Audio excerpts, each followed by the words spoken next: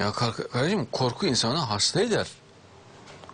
Adam sokakta yani İslam alemine bir bakın. Mesela git Irak'a git. Irak'ta bir gence sor. Kim neden korkuyorsun dersin? Polisten korkar. Askerden korkar. Sokaktaki bir insanı görür.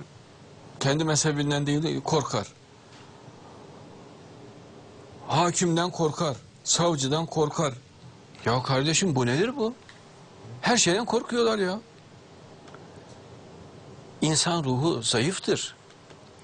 Ya Allah ayet ediyor şeytan Allah'ın sınavı. İnsan zayıf yaratıldı diyor. Bu kadar baskıyı kaldırmaz insan. Sağa dön yasak, sola dön korku. Allah esirgesin. İnsanın basireti bağlanır, feraseti bağlanır. Gücü kırılır.